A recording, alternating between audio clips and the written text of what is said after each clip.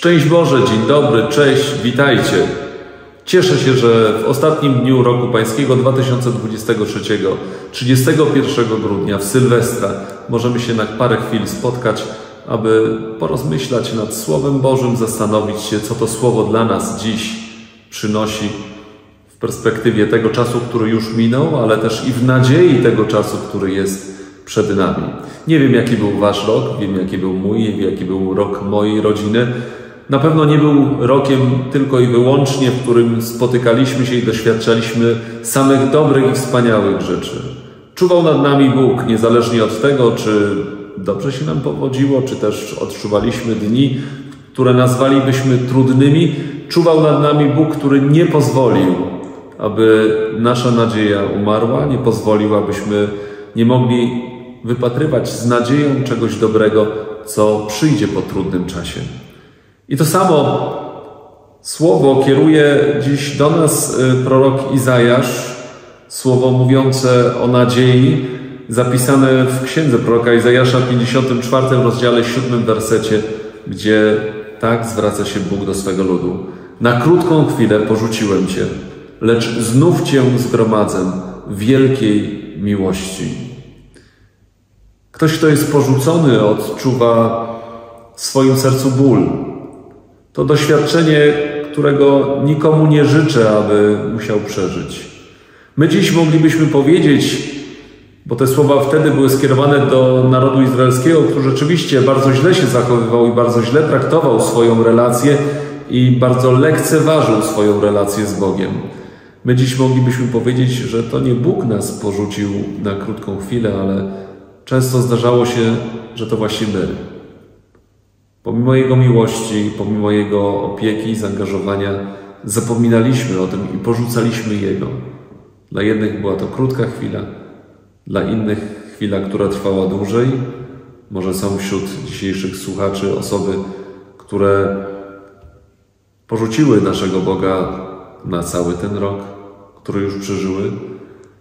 I dziś może jest to pukanie do drzwi waszego serca, może jest to chwila takiej refleksji i zadumy, aby powrócić do tego, który nas nie porzucił, a który chce nas znowu zgromadzić, zebrać, po to, abyśmy mogli doświadczać Jego łaski, Jego miłości i Jego nadziei. Szczególnie w tej chwili, w której dokonuje się pewien przełom, zamykamy drzwi starego roku, chcemy wejść w to, co nowe i nieznane dla nas.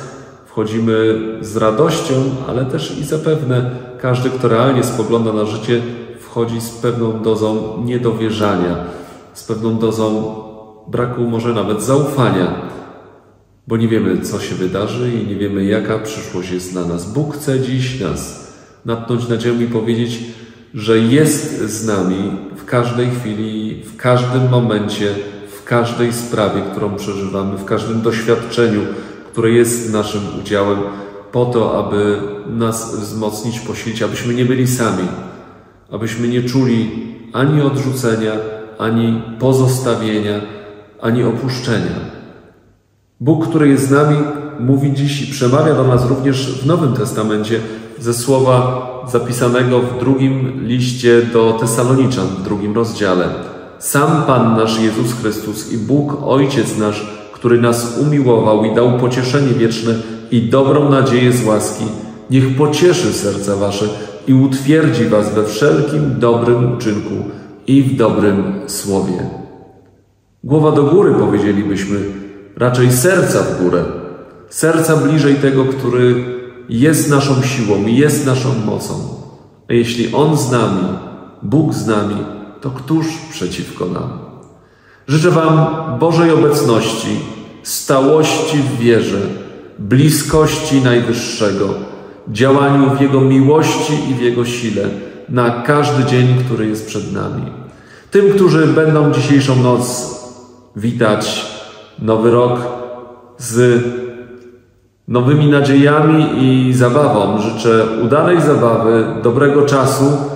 Tym, którzy będą to czynić z modlitwą, życzę, aby odczuwali niesamowitą, wspaniałą bliskość Najwyższego, naszego Boga. Niech Pan Bóg nas wszystkich, niezależnie od tego, w jakim dziś jesteśmy nastroju, w jakim jesteśmy dziś stanie, pobłogosławi i ma w swojej opiece. Tego życzę Wam, sobie na te chwile, które dziś będziemy przeżywali. Zapraszam już na jutro, jutro w codzienniku ksiądz biskup Adrian Korczako. Do zobaczenia. Z Bogiem.